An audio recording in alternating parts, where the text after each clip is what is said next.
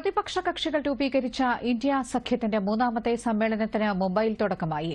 ആറ് മുഖ്യമന്ത്രിമാരടക്കം ഇരുപത്തിയെട്ട് പ്രതിപക്ഷ പാർട്ടിയിലെ അറുപത്തിമൂന്നോളം നേതാക്കൾ യോഗത്തിൽ പങ്കെടുക്കുന്നു. ഇന്ത്യ സഖ്യത്തിന്റെ ലോഗോ ഇന്ന് പ്രകാശനം ചെയ്യും. ലോക്സഭാ തെരഞ്ഞെടുപ്പിനെ നേരിടുന്നതുൾപ്പെടെയുള്ള വിവിധ സമിതികളുടെ രൂപീകരണവും ഇന്ന് നടക്കും.